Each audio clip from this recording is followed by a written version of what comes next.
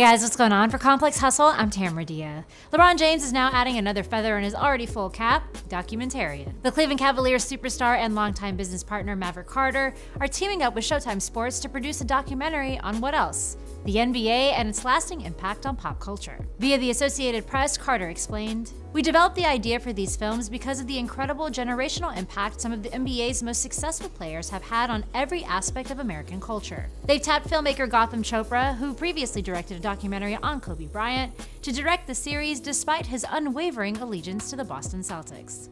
Despite the fact that I'm a Boston Celtics fan to the bone, collaborating with Maverick and LeBron was an inspired opportunity. Sports in general, specifically the NBA, provide a general backdrop for storytelling.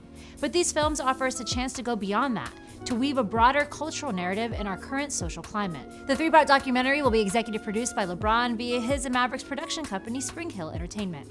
It is set to premiere in 2018. That's all I got for now, but for the rest of today's updates, keep it locked right here to Complex. For Complex Hustle, I'm Tamara Dhia.